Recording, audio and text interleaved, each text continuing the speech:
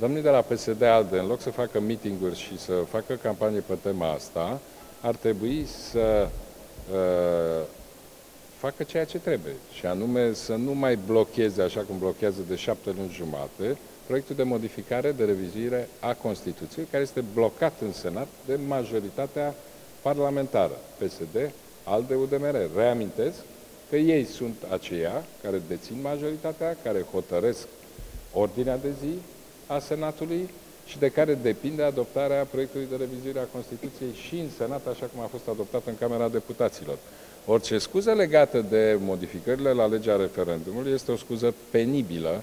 Avem o lege în vigoare a referendumului. În baza acestei legi, de șapte luni jumate de când ei blochează, de fapt, referendumul pe această temă, se putea organiza referendumul. Faptul că există o tentativă a lor de modificare prin care încearcă să-l scoate pe președinte din procedura de organizare a referendumului, nu le oferă nicio scuză pentru faptul că au blocat șapte luni jumate acest proiect. Și ultimii care pot să se, re, uh, să se prezinte în uh, postura de susținător ai familiei tradiționale sunt domnul Dragnea și Ștrecea.